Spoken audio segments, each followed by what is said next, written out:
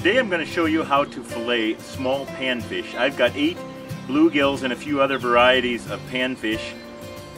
They are about five and a half to six inches long. Some people think those are pretty small.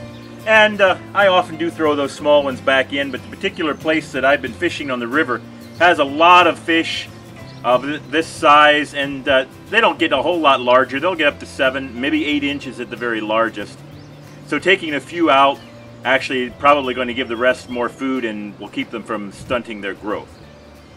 So uh, I want to prove to you that you can take eight small fish like this and uh, with just a little bit of work you can have yourself a nice meal. Step one is to scale these. You, I like to scale them because when on these smaller fish, when you scale them, it just leaves a little bit more of the, the meat and the skin's really good. You just kind of go along the top like that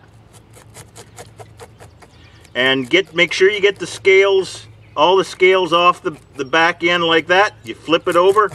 Just do the same thing on the opposite side. Make sure you go far enough forward so you get all of the good meat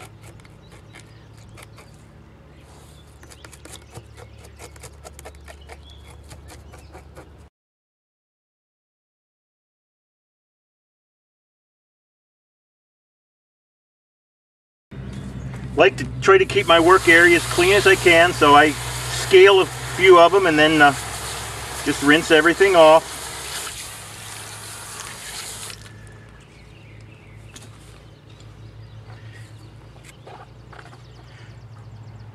Now I'm going to take my fillet knife and uh,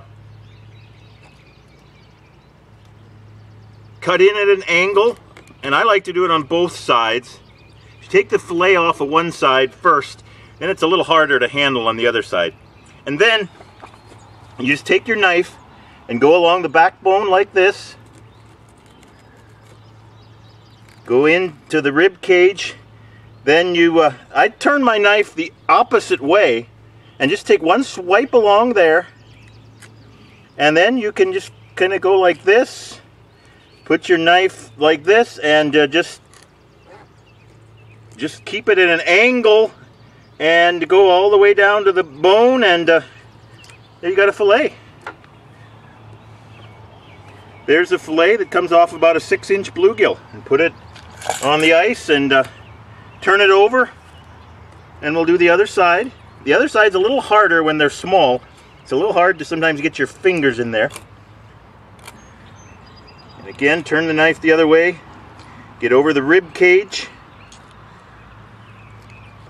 and uh, down along the backbone and there you go. The uh, you notice the uh, tail on there? That actually is really good eating. It uh, you fry it up it almost sort of like french fries. Really good. We love it. I just take these fish and dip them in a cornmeal flour mixture and fry them in butter and they are scrumptious.